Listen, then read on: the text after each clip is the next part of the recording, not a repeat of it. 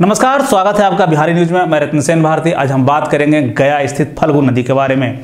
बिहार के मुख्यमंत्री नीतीश कुमार का ड्रीम प्रोजेक्ट को लेकर मोक्ष की नगरी में रहने वाले लोगों के लिए एक अच्छी खबर सामने आ रही है। बिहार सरकार ने गया के लोगों से वादा किया था कि फल्गु नदी पर एक पुल बनाया जाए।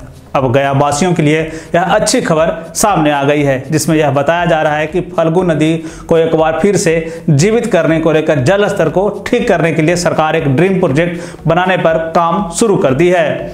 आपको बता दें कि बिहार का पहला रबर डैम गया के फल्गु नदी पर देवघाट के समीप बनने जा रहा है। वहीं रबर डैम निर्माण कार्य भी शुरू हो गया है। आपको बता दें कि बिहार के मुख्यमंत्री नीतीश कुमार ने पिछले 23 सितंबर 2020 को इसका ऑनलाइन शिलान्यास किया था। इसके बाद अब डैम बनाने की प्रक्रिया शुरू हो गई है। रबर डैम बन जाने के बाद से सालों भर फल्गु नदी में तीन मीटर तक पानी हमेशा रहेगा, जिसके बाद विष्णु पद मंदिर और पिंडदान करने वाले श्रद्धालुओं के लिए सालों भर पिंडदान तर्पण और श्राद्ध कर्म में पानी मिलता रहेगा।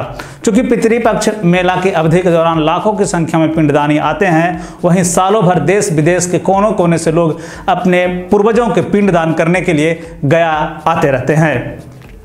आपको बता दें कि यह जो पूरा रबर डैम है, वो 277 करोड़ रुपए की लागत से बनाया जा रहा है और यह बिहार का एक लौता पहला रबर डैम है।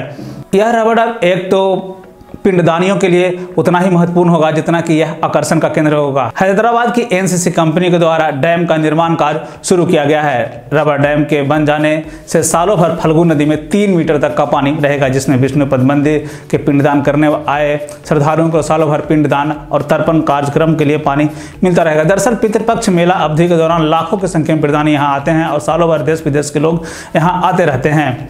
इस संबंध में गया के जिलाधिकारी अभिषेक सिंह ने बताया कि गया ज़िले में डैम की बहुत प्रतीक्षित योजना थी, जिसमें यहाँ आने वाले श्रद्धालुओं को सालों भर फल्गु नदी का जल का लाभ मिलता रहे, जिससे कि अपना धार्मिक कर्मकांड, पिंडदान और तर्पण का कार्य कर सके। उन्होंने आगे बताया कि रबर डैम का निर्माण कार्य दो वर्ष में पूरा किया जाना है। संभवतः दिसंबर 2022 तक रबर डैम का निर्माण कार्य पूरा हो जाएगा। वहीं देवघाट से सीताकुंड जाने के लिए स्टील ब्रिज का भी निर्माण कराया जाएगा। इसी परियोजना में स्टील ब्रिज भी शामिल किया गया है, ताकि श्रद्धालु आसानी से सीता कुंड जा सके।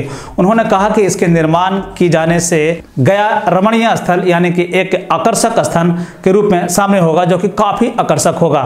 मुख्य अभियंता यानी कि इसके इंजीनियर अभय नारायण ने इसको लेकर विस्तृत में जानकारी देते हुए कहा कि इस डैम से आम लोगों और पर्यटकों की तरह भी काफ़ी आसानी हो जाएगी। इसमें लोहे के गेट की जगह रबर का बैलून होगा।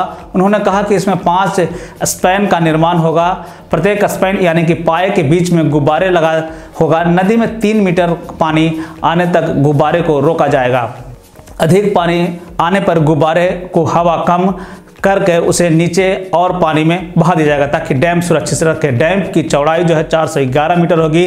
नदी के दोनों किनारों की ढलाई की जाएगी। स्पेन की गहराई 24 से 28 मीटर की होगी। यहाँ पाथवे का निर्माण किया जाएगा, जिससे तीर्थयात्री आसानी से पिंड बेदी तक पहुँच सके। आपको बता दें कि प्रतिवर्ष प्रतिपक्ष मेले के मौके में लाखों श्रद्धालु अपने पूर्वजों की मोक्ष प्राप्ति के लिए पिंडदान करने के लिए वहाँ पहुँचते हैं। रबर डैम के बन जाने से पिंडदानियों को जहाँ फलगु नदी में पानी की समस्या का समाधान हो जाएगा, वहीं डैम आकर्षण का केंद्र भी हो जाएगा। योजनाओं के मुताबिक डैम एक स्टील का पुल बनाया जाएगा, जिससे लोग आसानी से एक तरफ़ से दूसरी तरफ़ आ जा सकते हैं। बिहार और बिहार से जुड़ी हुई और भी ऐसे ही खबरों के लिए बने रहें बिहारी न्यूज़ के साथ। मुझे दीजिए इजाज़त। धन्यवाद।